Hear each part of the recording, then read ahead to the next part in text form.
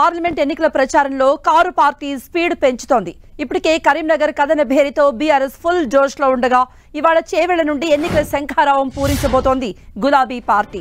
సాయంత్రం ఐదు గంటలకు జరిగే బహిరంగ సభలో బీఆర్ఎస్ అధినేత కేసీఆర్ పాల్గొననున్నారు. ఉమ్మడి రంగారెడ్డి జిల్లాలో తొలి ఎన్నికల ప్రచార బహిరంగ సభ కావడంతో పార్టీ శ్రేణులు ఈ సభను ప్రతిష్టాత్మకంగా తీసుకున్నాయి. సభను సూపర్ సక్సెస్ చేసేందుకు భారీగా జనాన్ని సమీకరిస్తున్నారు. సభ ఏర్పాట్లను మాజీ మంత్రి ఎమ్మెల్యే సవితా ఇంద్రారెడ్డి పరిశీలించారు.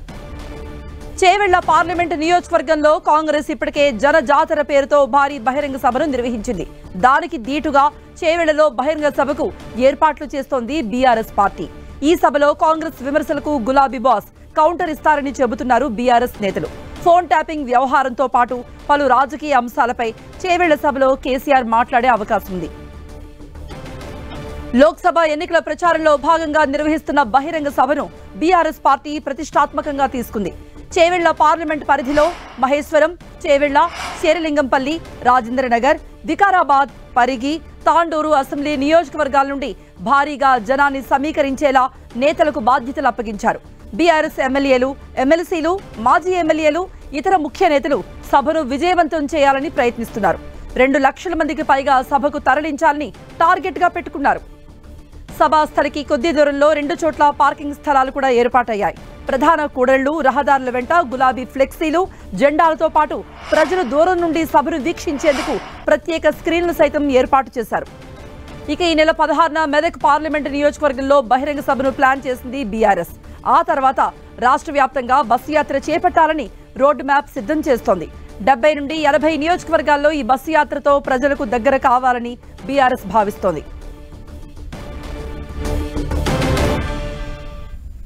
ఇక చేవెళ్ళ సభను సక్సెస్ చేసేందుకు గులాబీ శ్రేణులు తప్పిస్తూ ఉన్నాయి. దీనికి అన్ని ఏర్పాట్లు చేశాయి. దీనిపై మరిన్ని అప్డేట్స్ ఇవ్వడానికి మా ప్రతినిధి శ్రీకాంత్ సిద్ధంగా ఉన్నారు. శ్రీకాంత్.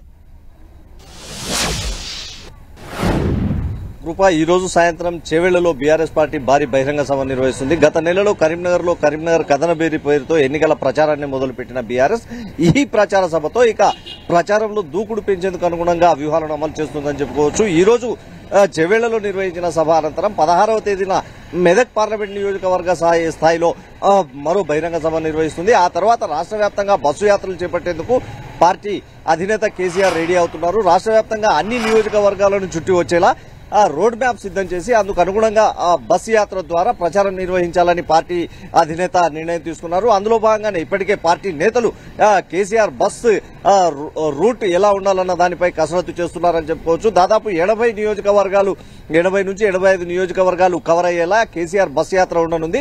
అదేవిధంగా పార్టీ కీలక నేతలు అంటే పార్టీ వర్కింగ్ ప్రెసిడెంట్ కేటీఆర్ మరో కీలక నేత హరీష్ రావులు కూడా రాష్ట్ర వ్యాప్తంగా ఎన్నికల ప్రచార సన్నాహక సమావేశాల్లో ఇప్పటికే పాల్గొంటున్నారు. రాబోయే రోజుల్లో ఈ నేతలు కూడా రాష్ట్ర స్థాయిలో వివిధ పార్లమెంటు నియోజకవర్గాలపై ప్రత్యేకంగా దృష్టి పెట్టనున్నారు. పార్లమెంట్ ఎన్నికల్లో భారీగా జన జనం దగ్గరికి వెళ్ళాలి.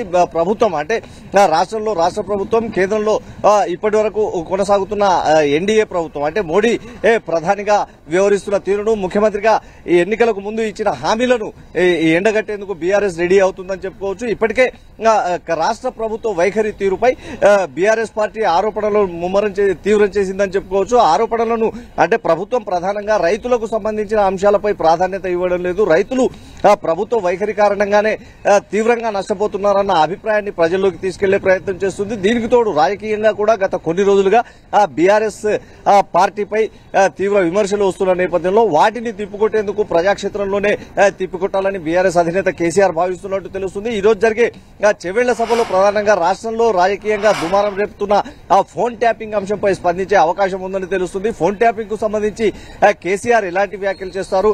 ఎలాంటి వివరాలు వెల్లడిస్తారన్నది ఇప్పుడు ఆసక్తి రేపుతున్న అంశంగా చెప్పుకోవచ్చు. ఆ రాష్ట్ర కేంద్ర ప్రభుత్వాలను టార్గెట్ చేస్తూ రాబోయే పార్లమెంట్ ఎన్నికల్లో మెరుగైన స్థానాలు సాధించే దిశగానే బీఆర్ఎస్ ఈ ఎన్నికల ప్రచార వ్యూహానికి పదను పెడుతుందని చెప్పుకోవచ్చు. కృప.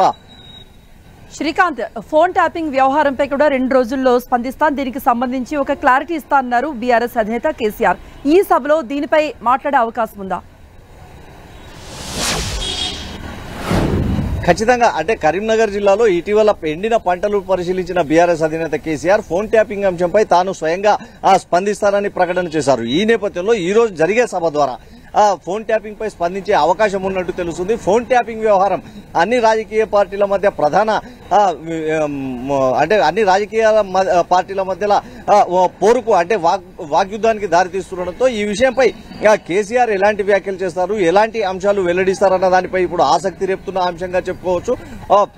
ప్రభుత్వ పరంగా చూసుకుంటున్నట్లయితే ప్రభుత్వం అంటే ప్రస్తుత కాంగ్రెస్ పార్టీ నేతలు ఫోన్ ట్యాపింగ్ను ఆసరాగా చేసుకుని బీఆర్ఎస్ నేతలను ఇరుకున పెట్టే ప్రయత్నం చేస్తున్నారు. బీఆర్ఎస్ నేతలు పార్టీ వర్కింగ్ ప్రెసిడెంట్ ఇతర నేతలు స్పందిస్తున్నప్పటికీ పార్టీ అధినేత ఈ విషయంలో ఎలాంటి రియాక్షన్ ఉంటుందన్నది ఇప్పటి వరకు ఆసక్తి రేపుతుంది. గతంలో ఇందుకు సంబంధించి అంశం చర్చకు వచ్చిన సందర్భంగా నేనే పూర్తి వివరాలు వెల్లడిస్తానని కేసీఆర్ చెప్పడం జరిగింది. దీంతో ఈ రోజు. బహిరంగ సభలో ఈ ఫోన్ ట్యాపింగ్ అంశంపై కూడా కేసీఆర్ ప్రస్తావిస్తారని తెలుస్తా ఉంది కృప.